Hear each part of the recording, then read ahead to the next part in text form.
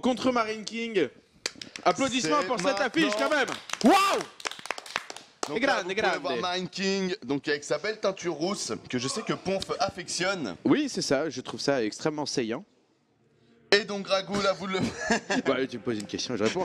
donc, on est sur Dual Sight. Donc Grégou en bas à gauche, donc en terra, en zerg, pardon, bleu. Et Marine King Prime, le tueur, la machine à viande, en terran rouge en haut à droite. Euh, les deux joueurs qui sont tellement chauds, mais c'est tellement excitant de voir, euh, voir cette affiche. C'est les deux joueurs qu'on a suivis pendant deux jours. Bon, je l'ai déjà dit tout à l'heure, mais bon, c'est euh, vraiment c'est, c'est- il y a- ok, il y a- on peut pas, on peut pas vraiment faire de pronostics sur, euh, sur euh, les, Sur les le- deux mecs sont à fond, les deux mecs sont super chauds dans cette MLG. Ils ont, ils ont fait très très peu d'erreurs jusqu'ici. Euh, ce match, si ça va être la première erreur d'un des deux, euh, d'un des deux participants. Ouais, exactement. Là, on va avoir vraiment du jeu qui va toucher euh, à la perfection, on peut le dire. Et en plus, c'est des joueurs qui ont vraiment un passif. hein. donc, ce qui fait que on sait qu'ils sont souvent rencontrés. Ça va être compliqué. Là, on va vraiment voir du beau mind game. Le, terrain qui va sûrement essayer de bien cacher ses strats. Le joueur Zer qui va essayer de s'adapter au mieux possible. Et c'est vrai que Dragon, on l'a vu hein, pour le moment, vraiment, il nous a vraiment montré que de la perfection, aussi bien dans ses choix euh, d'attaque que de timing, que de tout. Vraiment, tout est parfait dans sa vision de jeu. Donc là, ça va être très intéressant. Pour le moment, on peut voir que donc Marine King nous a donc fait un premier euh, baraquement. Il n'a pas pris son gaz. Donc là, on monte à 15. Donc ça sent quand même le One Rax Expo. Et vous pouvez déjà noter que Don Drago est donc en train de scouter un peu partout dans la base. Mais là, il s'amusait un peu tu vois, avec l'emplacement du dépôt. Donc faut croire qu'il se dit Ok, c'est juste une Rax. Il n'y a pas de Rax caché. Je l'ai compris. Donc euh, tout va bien. Il est, euh, il, est, il est dans du connu ici, la B2 qui va bientôt se finir pour Dongregu. Et, euh, et alors, est-ce que le style euh, full muta, grosse grappe de muta à la Dongregu, peut coller euh, contre un Marine King à ton avis? Très franchement, moi je pense que oui, clairement. clairement. Parce que bon, Muta contre les, contre le, contre les packs de Marines, de toute façon, t'as tes Gling et t'as des Banning. Et quand tu vois la gestion de Don Drago qu'il a pour vraiment tout le temps harasse continuellement avec ses Mutas, maintenant Marine King a une gestion du placement et des Marines qui est aussi extraordinaire. C'est pour ça que vraiment c'est une confrontation que j'attends. J'ai vraiment envie de voir comment les deux joueurs vont. euh, bah, qui va réussir à tirer son épingle du jeu Parce que là, à première vue, comme tu l'as dit, ce serait très dur de faire un pronostic. Là, vous l'avez vu, très intéressant du côté de chez Marine King. Il a double gaz juste après euh, son premier command center. Donc ça veut dire qu'il va sûrement nous faire une, une Petit ouverture. pressing euh, non? voilà, même plus qu'Elion sûrement, parce que quand même du double gaz comme ça, ça risque de même finir Banshee, mais on verra, parce que pour le moment, ça peut être très ouvert, il peut faire beaucoup de choses. Euh, et du côté de Don Dragou, bah pour le moment, ça drone, ça drone, il nous envoie son double queen, c'est normal, first hatch à 15. Donc euh, bah pour le moment, encore beaucoup d'interrogations. Ah effectivement, même euh, les mutas de Dongregu, c'est son, euh, c'est c'est- c'est sa spéciale, comme on dit. Ouais. Mais il pourrait très bien, euh, justement, bluffer MKP. MKP qui, qui le sait, voilà, que la terre entière sait que Dongregu aime les mutas. Est-ce que Dongregu a développé un build spécial pour contrer MKP C'est en ça. finale de MLG Euh, C'est des choses qui sont également possibles. Euh, à noter euh, pour ceux qui suivent Iron Squid, et bien que la diffusion de ce soir n'aura pas lieu puisque nous, nous sommes sur la MLG. Par contre, elle aura lieu demain à 21h exceptionnellement, puis mercredi comme d'habitude. Euh, donc, et les VOD sont sur le site ironsquid.tv. Là, Euh, vous pouvez voir Don Dragou qui a fait un petit poke avec ses Erglings, donc il a pris l'info de la B2, il a vu le bunker aussi qui était posé, mais bon, il y a trois Marines, donc il peut pas dire grand chose. Mais au moins, il est à peu près sûr qu'il s'est pas trompé donc dans sa vision de jeu. hein. Il n'y a pas de double axe ni rien, tout roule. ça part double usine pour, euh, pour MKP. Excellent, en effet. Mecha direct. Donc facteur réacteur en premier lieu et une autre usine derrière. Alors est-ce qu'il veut full tourmenteur? On va voir quelle adonne il va mettre sur son baraquement. Ah bah, Et il il- met un fait un push, euh, si Finn aussi nous fait un petit push. Ah bah non, il va faire le maraudeur Elion. Il va faire le maraudeur Elion. euh, Et à la Bolt. à la Polt versus Stéphanouille et à la et voilà et ça va et ça va aïe aïe aïe aïe aïe aïe aïe est-ce qu'il l'a senti ici en plus sur cette map c'est catastrophique regardez l'entrée dans cette B2 cette entrée est béante les lions vont pouvoir circuler euh, circuler complètement freely et, euh, et ça va faire beaucoup de dégâts. Il faut à tout prix, à tout prix que Don Grégou, contrairement à Stefano, Blue Flame. eh ben il faut qu'il le spot. Ok, et là vous le voyez, hein, il envoie directement du Blue Flame là, euh, Marine King. Donc c'est très intéressant parce que comme tu le disais, on sait que donc Dragou aime les, euh, aime les mutas. Et, euh, et c'est pour ça que je me posais la question, mais si, si il part sur Tourmenteur Maraudeur contre un joueur qui l'a d'envoyer des mutins Ah. rapidement. Et en fait, non, il nous fait le choix de- du Tourmenteur Flamme Bleue, donc très intéressant, surtout qu'on le voit de moins en moins en TVZ, hein, très clairement. Donc euh, choix audacieux, j'ai envie de dire, vu que Ouais, c'est pas que un dès que, choix les qu'on voit tous les vont, jours. dès que les mutas vont sortir, les lions vont plus servir à rien. Ouais. Donc euh, effectivement, M- euh, MKP qui mise sur les euh, lions flammes bleues en début de game, les bâtiments qui sont posés ici, un spine crawler qui va bientôt se finir avec une chambre des volets et lions flammes bleues qui ne font qui, bon, qui ne sont toujours pas flamme bleue, mais pour l'instant qui ont juste coûté, pas de dégâts effectués tranquillement, et j'ai l'impression que euh, MKP va commencer à les accumuler en fait, et euh, peut-être arriver avec euh, 16 ou 18 Hélions. Pour dans la base en- ouais, de l'adversaire. Et vous le voyez d'ailleurs, hein, il les garde bien dans sa B1 discrètement. On peut voir en bas qu'il y a un petit Marines qui est en train de patrouiller au cas où qu'un éventuel Overlord euh, essaye de prendre une prise d'information. Donc très bon positionnement de la part d'MKP. Par contre, quel beau wall de la, de la part de Don Drago. Là, c'est la première fois que je vois ça, une de prod placée en bas comme ça, collée à, à la chambre des veaux, puis aiguillon. Euh, vraiment, c'est super propre. Et c'est euh, et c'est très très beau à regarder. Du coup, regardez, c'est parti. Marine King qui sort. Normalement, il avait déjà libéré l'Exel Naga. Donc, normalement, il n'y a pas de problème. Il ne peut pas être scouté pour le moment. Il va Et il arriver le sur sent. le creep. Il le sent, donc Grégou, et il voit la flamme bleue, la flamme bleue qui est révélée ici. Quatrième spine en production, que va faire MKP MKP qui tente le forcing, qui tente de passer dans les drones. Attention, les deux queens qui sont positionnés dans Grégou, la machine. Dans Grégou, le brutal Zer qui vient de repousser cette attaque avec un positionnement exemplaire. Dans Grégou, il est chaud. C'est clair, très très belle défense de Don Grego, vous l'avez vu avec ses trois spines. Là et son positionnement, donc avec sa hatch, sa chambre sa queen derrière, vraiment parfait, vraiment il n'y a rien à dire, c'est très très beau, un petit scan là de la part de Marine King, mais là Marine King il avait investi beaucoup dans ce push, vous l'avez vu, il n'y a pas Steampack, il n'y a pas bouclier, il n'y a pas de Medivac, il n'y a rien, vraiment il a tout investi dans ses tourmenteurs, il en a sorti beaucoup, donc pour si peu de dégâts là pour le coup c'est vraiment une mauvaise nouvelle pour Marine King, vous le voyez, Armory plus 1 d'attaque, plus 1 de défense aussi, double Armory, donc Marine King qui va s'engager sur un mass mecha maintenant. Mais euh, waouh, quelle belle défense de DRG quoi. Il y a rien à dire. C'est euh, combien de joueurs se seraient fait attraper là-dessus, Ponf? Non mais vraiment. Ah bah, tous. C'est euh, ouais, grave. Tous il, a pas, il a pas scouté et il le contre. Ouais, mais non, il l'a senti. Il l'a senti, il a tout fait pour les 4 spines euh, et les Mass Queen dans la B2, le wall, etc. Ça se mêlait, le Ouais, flamme bleue. de folie. Et, euh, et donc Grégo, et bien voilà, c'est euh, et c'est pour ça que ce monsieur est en finale du Winner Bracket et que vous êtes sur Gamecube.com. Cette finale, donc c'est pas, c'est pas la grande finale, la finale qui aura lieu plus tard dans la nuit en live. Et attention ici, le joli run by qui va commencer à faire du dégât sur les VCS. Attention les Lions Flamme Bleue qui continuent d'être produits. On va passer sur du tank euh, pour le Terran. Et une B3 pour, euh, pour Don Grégou ici qui va donc sortir pour le moment infestateur, transiter peut-être vers Roach entre temps, puis Speedling.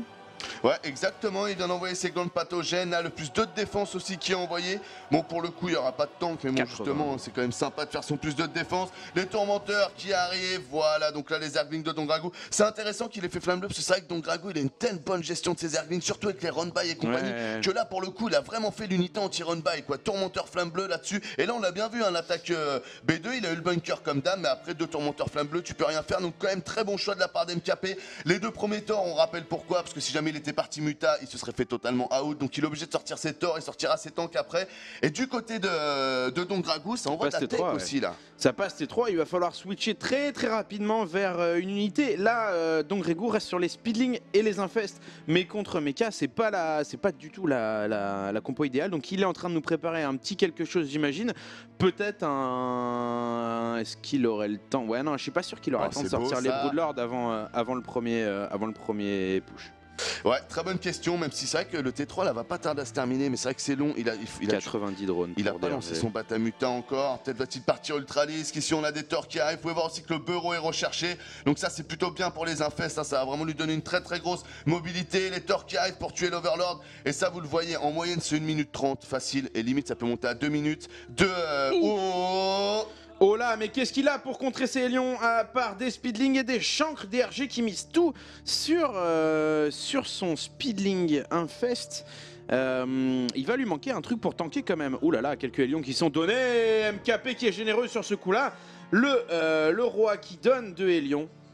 Ouais. Et, euh, et voilà quoi. Et non, mais c'est vrai que ta réflexion était intéressante. Là, il est parti sur Full Zergling Infestateur alors qu'il a scouté Blue Flame. Ouais. Euh, ultra, donc, euh, face ultra pour euh, DRG. Oh, oh, oh, Ça, ça va calmer les choses, très bien fait. Vous voyez qu'en plus, au niveau des upgrades, hein, le plus 2 de défense qui va se finir, le plus 1 d'attaque qui est à la moitié aussi. Ça, ça, ça marche aussi pour les ultras, bien évidemment. Donc les ultras seront 2-2. Il va pouvoir les passer du coup 3-5. Donc on rappelle qu'ultra, vous pouvez monter jusqu'à plus 5 de défense. Donc euh, ça envoie vraiment du lourd. Donc Gragou qui pour le moment 123 de pop est plutôt bien. Il a réussi à avoir le map control même s'il y a beaucoup de tourmenteurs sur la map. Sa B3 est sécurisée. Du côté de chez Marine King, il a mis un peu plus de temps à poser sa B3. Donc là, il est en train de la sécuriser. Il a laissé son armée là-bas et regardez un petit groupe de James Bond là qui part avec des infestateurs bureaux. Et effectivement, quatre snipers infestateurs qui vont essayer de se taper. Bah, scannent, c'est- mauvais, par contre. Ah, Oh, Surprise. Surprise partie de c'est la part de ces infestateurs ici qui euh, fungle tous les lions de Marine King Prime, les Zerglings qui vont faire le reste. Mais qu'est-ce que tu penses de faire des ultras au lieu de faire des Broodlord euh, contre Mecha? Enfin, je veux dire, c'est certes, c'est euh, c'est- assez puissant, mais est-ce que ça n'est pas. euh, Est-ce qu'il n'y a pas un choix plus intéressant? Plus simple, t'as tout à fait raison, mais là c'est vrai que pour le coup j'ai l'impression qu'il a envie de jouer sur un timing. Regarde, Mais qu'il a Mais- rushé en fait. En plus il y a Il toujours a rushé pas de ultra, quoi. tank. Ouais. Oh, Oh non. Oh là là. Mais il y a toujours pas de tank pour le moment, donc j'ai l'impression qu'il veut plus partir pour le moment tourmenteur Thor que vraiment mass mecha. Il va être 2-2, tu vois, toujours zéro tank.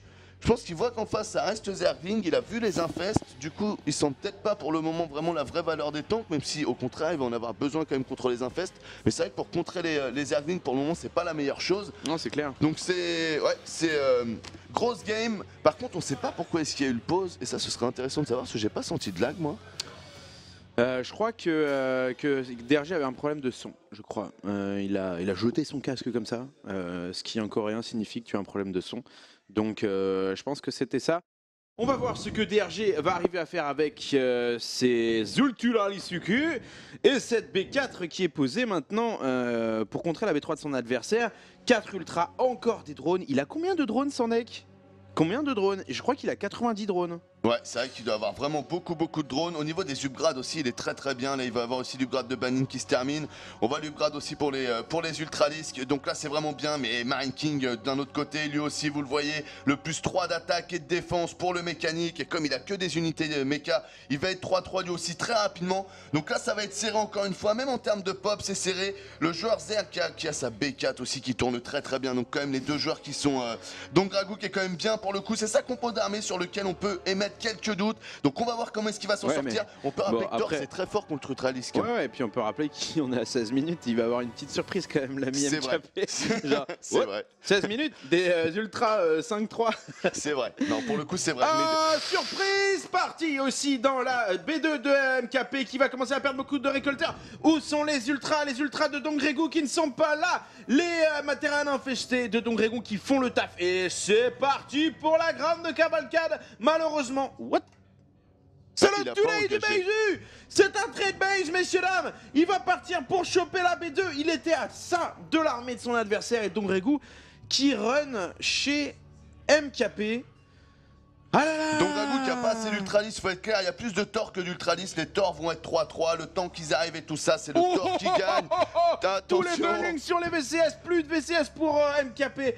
Et les ultras qui reviennent du coup. Alors, alors, alors, alors, alors, alors, le dégât a été fait sur les VCS de MKP, mais pourquoi revenir maintenant? Ouais, mais Y là, plus King euh, qui commence à faire très très mal. Donc Drago, vous le voyez, qui est en train de revenir. Ces Ah, infestateurs qui sont positionnés ici pour lâcher des terrains infestés, pour faire en sorte que les premiers tirs de tank ne soient pas mis sur les ultralis. On va avoir une belle prise de fight là. De toute façon, donc Drago, il a pas le choix. Il a des ultras, c'est un gros socle. Faut vraiment qu'il prenne très bien sa part. Mais regardez Marine King, hein. il sait que ça va arriver. C'est plus chez lui. Hop, c'est bien en ligne. Les tanks qui sont bien protégés. C'est Et carré. c'est parti pour les terrains infestés Les ultras de Dongrego sur le méca de son adversaire Et il est en train de faire du dégât, il est en train de faire du dégât. Tous les torts qui tombent, tous les torts qui tombent ici. Mais on a encore euh, on a encore quelques hélions qui vont venir divertir un peu les Zerglings. Massélion, la grande cavalcade sur l'armée de Dongrego Attention, c'est Belling ici qui... Là là, un ultra qui brûle. Alors ça, j'ai jamais vu, Ah, c'est... l'avais vu, c'est magnifique. C'est assez festif. Ouais, Et, euh, et finalement, le push du MKP qui est repoussé avec tellement de VCS qui ont été tués, deux Thor qui maintiennent la pression et les Ultras qui continuent à s'amasser dans la chaîne de production du Zerg.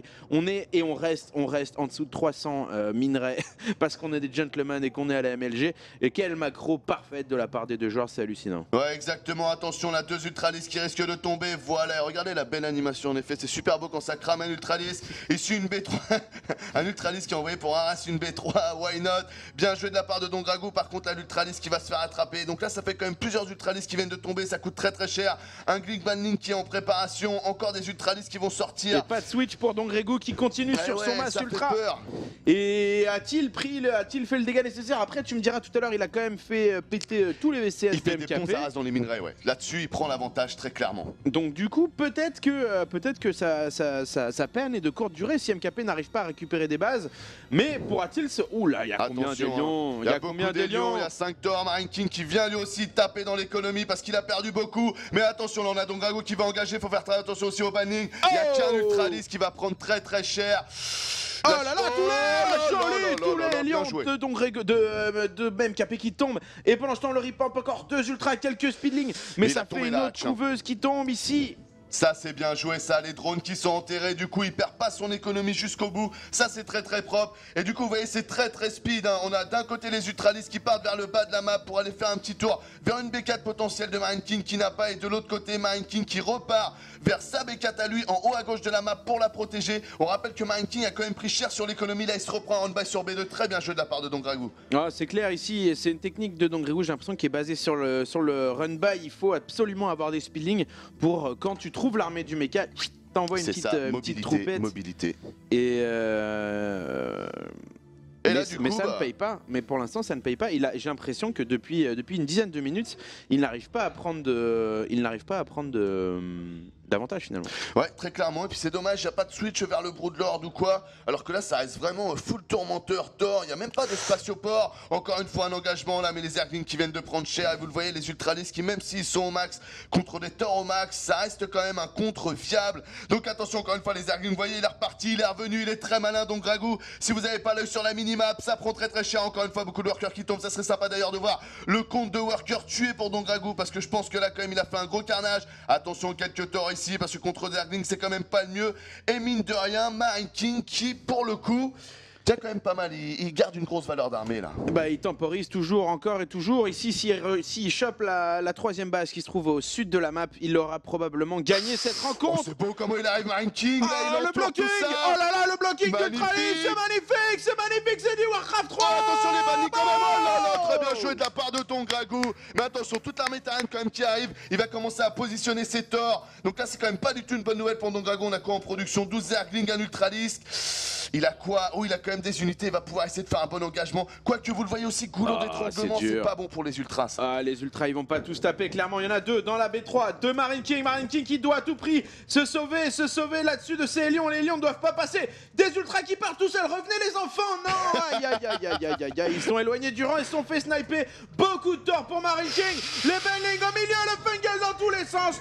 Est-ce qu'il aura suffisamment? Est-ce que Don Grégou peut le faire? Tous les torts qui tabassent. Et Don Grégou qui est en train de s'incliner ici, malheureusement, pour cette première Ah, il, game. man- il manque 30 Zerglings, voilà ils arrivent. Je vous jure qu'avec ces Zerglings là, sans tourmenteur, il pourrait finir les torts. Et GG de Don GG. Gragou Regardez le Don Gragou, enfin MKP, première victoire d'MKP, très très très belle game. Franchement, c'est une finale avant l'heure. hein. Limite, ça pourrait, ça se trouve, ce sera la finale de cette MLG. Ah mais regarde la tête, Ah ouais, il, a, il a fermé les yeux pendant 30 secondes. hein.